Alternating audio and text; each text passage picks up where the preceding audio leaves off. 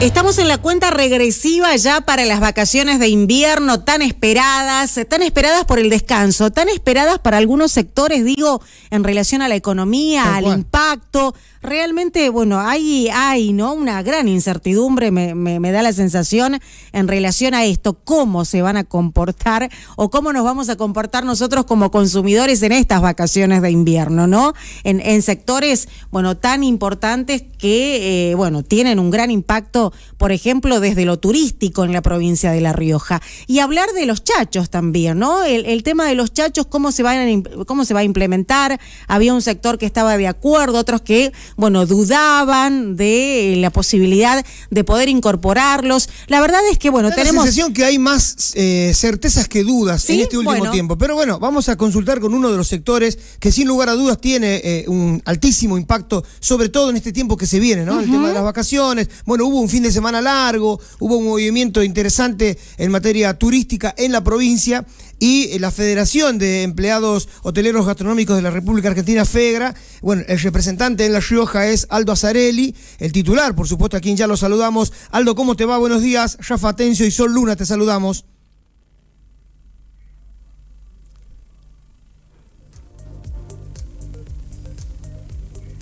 Bueno, ahí vamos a, recuperar, eh, lo escuchamos, lo, escuchamos a Aldo, pero desde, desde otra galaxia, desde otra galaxia. A ver si, si Aldo a nosotros nos escuchaba. A ver, a ver ahí, Aldo, te escuchamos ahora. Buenos días, ¿cómo estás, Rafa y Sol? Te saludamos. Ahora los escucho bien. Perfecto, ahí, ahí te escuchamos nosotros también. ¿Cómo estás? Buen día. Buenos días, chicos. ¿Cómo les va? Un gran gusto estar con ustedes, mi amigo Rafa también y Sol. Eh, un gusto estar con ustedes y hablar de turismo que, que tanto que tanto nos gusta y es que vivimos de esto, ¿no? Tal cual. Eh, Aldo, haciendo así un pequeño, pequeño y rapidito repaso de lo que pasó en este último fin de semana largo, hubo un movimiento interesante. Eso más o menos hace palpitar que se vienen unas vacaciones eh, positivas para el sector. Totalmente, totalmente. El fin de semana XXL, según la secretaria de, de, Turismo, rondó los, el 73% de ocupación hotelera eh, y bueno, vamos a ver cómo, cómo pintan las vacaciones de, invierno, pero creemos que va a haber mucho movimiento y más con la, con la inserción de, de, Chacho a la economía a la economía de la provincia que va a generar también un movimiento interesante eh, para, para el comercio de la provincia. Ahora, eh, el sector, Chacho sí, Chacho no. Chacho, sí, por supuesto. Apoyamos, apoyamos al gobierno para generar esto que te digo yo. Necesitamos una que, que nuestra economía interna se mueva, eh, que nuestra economía interna eh, tenga más circulante en la calle para generar más compras, que, que es lo que estamos necesitando, ¿no? Ahora, Aldo, eh, hay algunos comercios que ya empezaron, por ejemplo, a anunciar un eh, incentivo ante el pago con chachos. ¿El sector también va a hacer lo mismo o planifica hacer lo mismo? Y posiblemente, eso es decisión de cada uno, ¿no? Por ahí te conviene trabajar más con, más con chachos, que a las 48 horas haces, de, haces plata, ¿no? Que una tarjeta de crédito que te demora 12 días y que te retiene un montón de plata, ¿no? El chacho, el chacho no te retiene nada. Claro, bueno, esa era la, duda también. Nosotros hace un tiempo, Aldo, habíamos consultado a, digamos, a, los, a, los, mismos comerciantes y muchos, bueno, no, no, tenían toda la información en la mesa. Es decir, che, ¿cuándo nos van a acreditar? ¿Cómo va a ser el mecanismo interno, no? Nosotros los recibimos, pero, pero de pronto no podemos pagar a los proveedores con chacho, decían algunos. Y bueno, si no lo podés, si no lo podés utilizar en pago de impuestos, en pago de de, de o, o, comprar algún proveedor que te lo reciba, eh, lo cambias, lo cambias en el banco, lo cambias, eh, según ellos va a haber cajero por en varios lugares, de, lugares de cambio, lo puedes cambiar entre 48 o 72 horas tener la plata acreditada y te conviene mucho más que esperar 12 días de tarjeta de crédito. Claro, Ahora, Aldo, eh, eh, viene trabajando el Observatorio del Turismo en la provincia, pero también hay sectores, digamos, como, como el de ustedes, el sector privado, que eh, venía como demandando un poquito más de atención respecto a, a, sugerencias y demás. ¿Se ha podido o se va pudiendo avanzar en ese sentido? No hay observatorio turístico en la provincia, ¿no? No hay observatorio turístico en la provincia. necesitamos nosotros de forma urgente porque eso hace que haya un turismo profesional que no lo tenemos. El observatorio es muy importante, ¿no? Eh, apoyamos al gobernador Ricardo Quintero en la decisión de un plan estratégico y un observatorio turístico que ya están ya están realizados, falta ponerlo en funcionamiento. Eh, y bueno. ¿Y viene muy dilatado el tema del observatorio? Digamos, eh, ¿hay, ¿hay pasos concretos para, para que esto se, se realice, algo o, viene, o viene tranqui?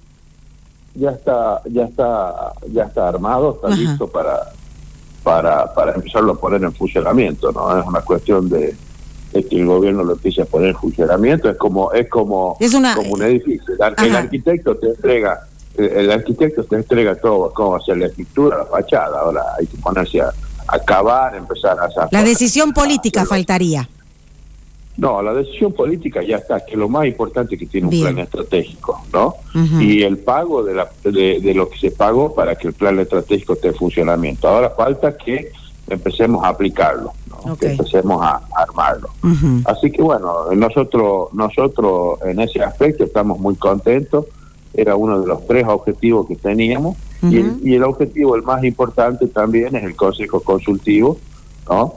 público-privado, en donde, en donde hay una mesa de, debate, que sería este Consejo Consultivo, en donde el privado esté sentado también en la toma de decisiones ¿no? de la política de turismo de la provincia. ¿Cómo, ¿Cómo ves el avance en este último tiempo, eh, eh, por lo menos en lo que se percibe desde afuera?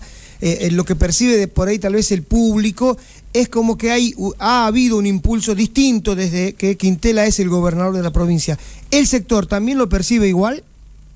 Nosotros lo que vemos que la decisión política de, Ricardo Quintela funciona funciona bien en los altos rangos, pero para abajo nosotros no vemos que, que haya una que haya una, una mejora en, en cuanto a la relación con lo privado y en cuanto a, a la ejecución de las obras. ¿no? Eh, creo que no, creo que ahí hay un cortocircuito importante que nosotros, nosotros como privados podríamos, podríamos ayudar muchísimo.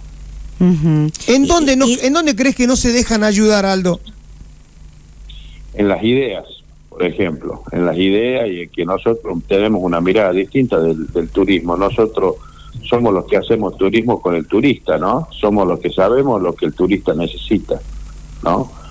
Entonces, si en la, en la mesa vos tenés eh, un tema un tema puntual como el movete, por ejemplo, las ideas del privado es distinta que la idea del público. Este, este movete hubiese salido perfecto si hubiesen sentado a los privados en la mesa, ¿no? Y no le hubiesen impuesto el moverte.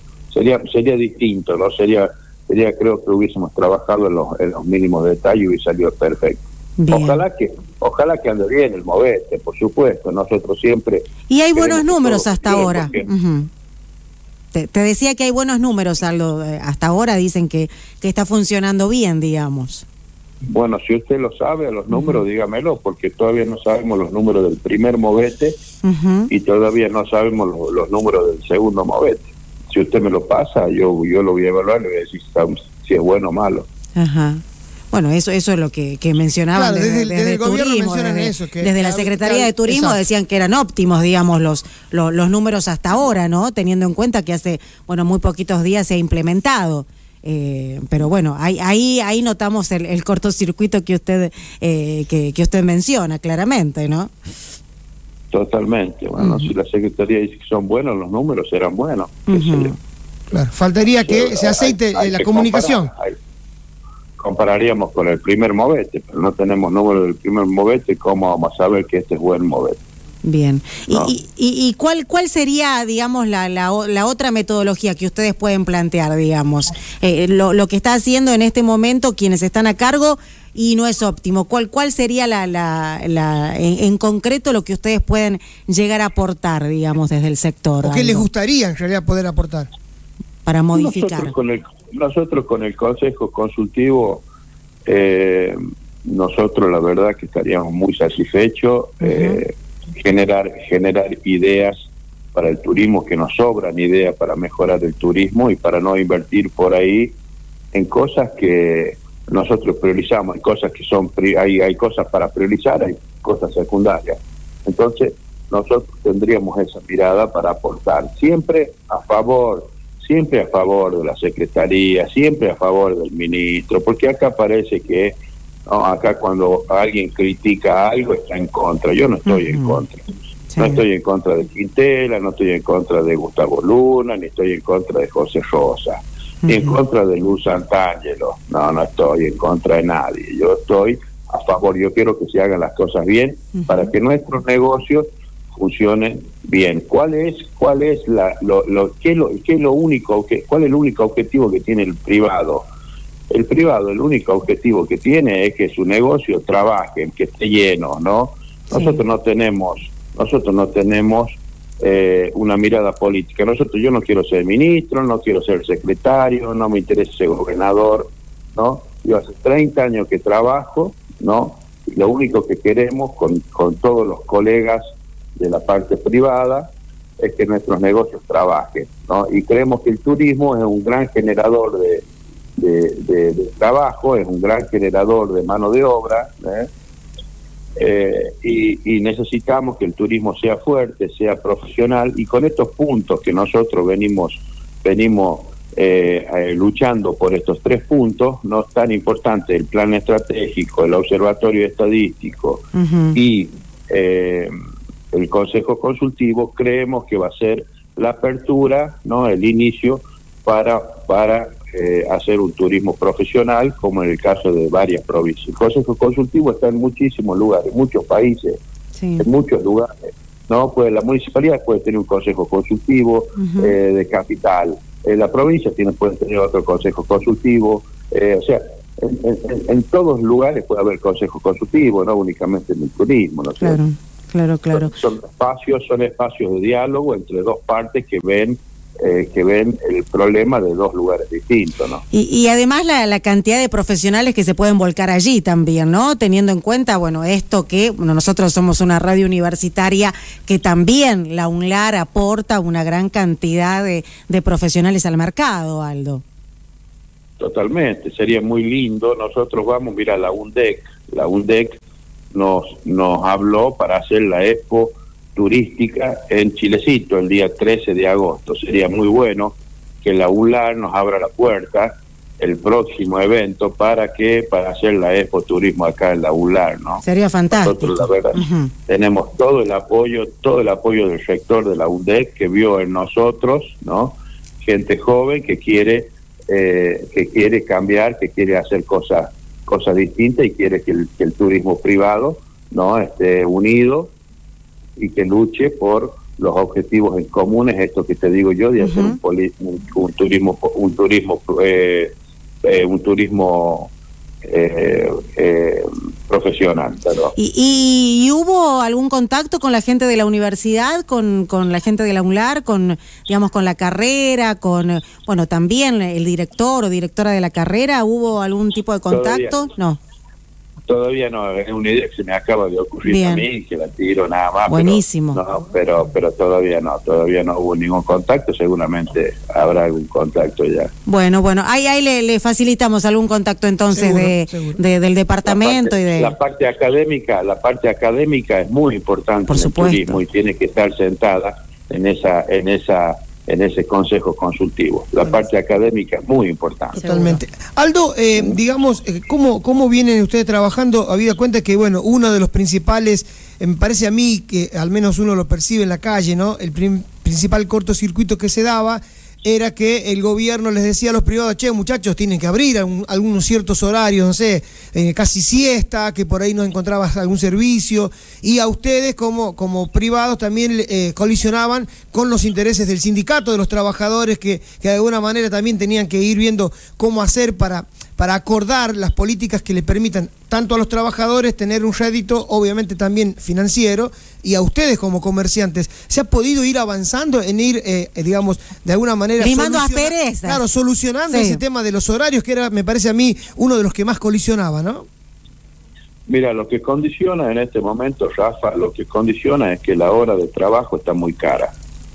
¿Sí? ¿Cuánto se paga? para tener eh, vos para tener una hora de una por ejemplo si vos, vos para tener cuatro horas la siesta de, un personal de cuatro personas es una fortuna lo que te sale. Si, si no generamos el turismo, si el turismo, si nuestro, si vos vas a abrir para dos turistas, no te conviene abrir, entonces cierran. Claro. ¿No? O un día, o por ejemplo un día feriado, vamos un día feriado, vamos un lunes que es feriado, ¿sí? Bueno, necesitas, yo tengo un equipo de 10 personas, ¿no? Entonces, si, si, si la provincia generó turismo para esa, para esa que yo abra y que yo haga 80 cubiertos, si me conviene, abro, hago 80 cubiertos, le pago el día doble a mi, a mi empleado y está todo bien. Ahora, si no generamos, si yo voy a abrir y voy a hacer 5 cubiertos, no lo abro, porque perdes plata. Claro. Claro. Sí, porque, porque es entendible, digamos. El gasto lo tenés que hacer igual poniendo a las 10 personas, entren 80 cubiertos o hagas 5 cubiertos. Así hagas un cubierto, tenés que sí o sí poner las 10 personas. totalmente, y le tenés que pagar día doble a las 10 personas. Entonces, si no generamos, si no generamos el turismo para que esas 80 personas entren en mi negocio, no me conviene abrir y, y, y, por lo y él, por lo general, estoy hablando del 90, el 95% de los colegas cierran sus negocios porque no hay gente, ¿no? Claro, por el mismo motivo, digamos. Totalmente. Entonces, eso es lo que nosotros, eso es lo que nosotros luchamos, ¿no? ¿No? algo y sí. No, para tener un para tener un turismo constante, no un turismo un turismo de un fin de semana. Claro. ¿No? No, luchamos para tener un turismo de... Nosotros en seis meses del año hemos trabajado seis días en Semana Santa y ahora y ahora estos tres días, del tres, cuatro días del semana X, del fin de semana XXL. Uh no hemos trabajado más. Claro. Y, y, en relación... sí, y, más allá... Sí, no, no lo, dejo terminar. Que son turísticas, que tienen un turismo permanente los 12 meses del año, ¿no? Eh, que tiene un turismo prácticamente todos los días.